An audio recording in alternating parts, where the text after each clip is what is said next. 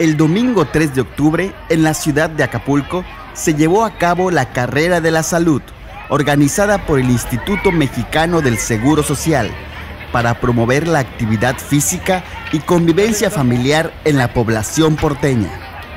En esta carrera participaron los alumnos del Colegio Militarizado Madrid, que corrieron desde el Zócalo, donde inició la carrera, hasta la línea de meta, en la glorieta de la Diana.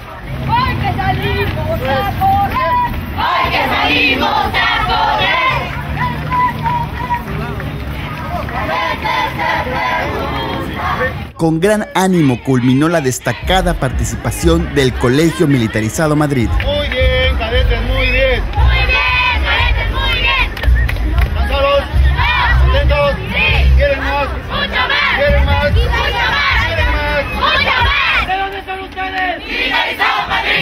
más! ¿De dónde son ustedes? ¡Militarizado Madrid!